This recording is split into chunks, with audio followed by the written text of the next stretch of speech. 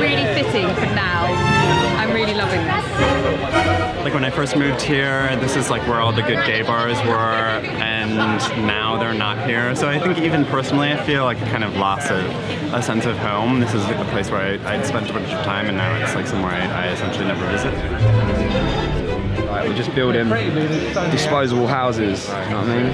And paying a load of money for them. Just knock them down. They're rubbish. The walls are really thin. Speakers through the wall all the time. I don't know. I wanted to make a piece of work which I thought would pose questions to do with gentrification. All cities grow and change and, and then get smaller and larger again and so gentrification is a natural part of, of that process. Most of the sort of furniture in my houses when I was a student of came out of skips so I kind of like that idea as well that the skips are in a sense a sort of part of the recycling process of the city.